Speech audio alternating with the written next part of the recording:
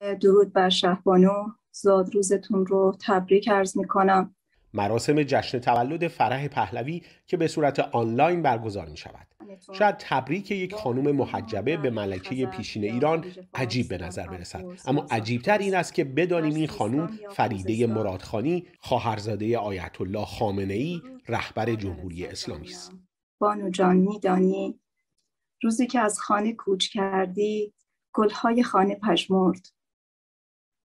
پرندگان همه در بند شدند فریده مرادخانی حدود یک هفته پیش بازداشت شد و به گزارش بعضی از فعالان حقوق بشر به زندان اوین منتقل شده. البته هنوز علت دستگیری او عنوان نشده و معلوم نیست برای حضور در این ویدیو بازداشت شده یا دلیل دیگری دارد. او اخیرا کارزاری را هم برای آزادی زندانیان شکل داده بود.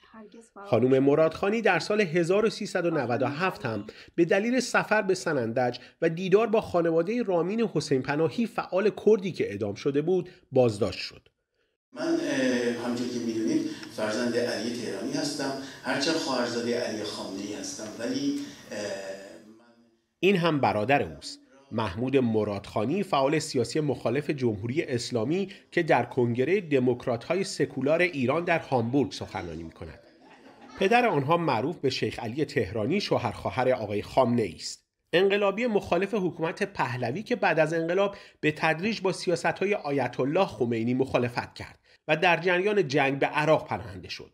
در تلویزیون عراق به تبلیغ علیه آیت الله خمینی و علی خامنه ای پرداخت اما سال 1374 به ایران بازگشت به 20 سال زندان محکوم شد اما بعد از 10 سال آزاد شد حالا در سن 95 سالگی در انزوای سیاسی به سر می‌برد.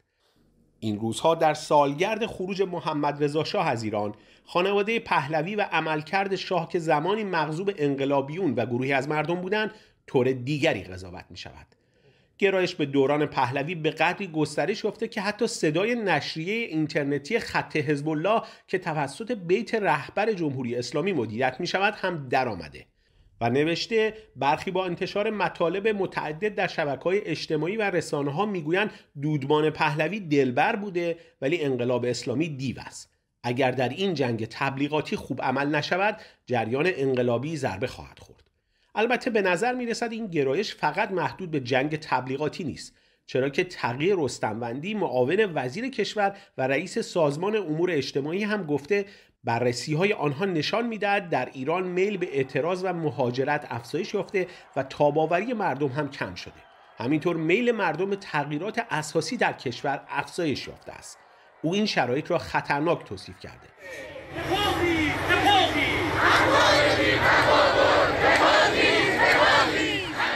شرایطی که به راحتی در خیابانهای ایران با نگاهی به تجمعهای اعتراضی متعدد قابل فهم است.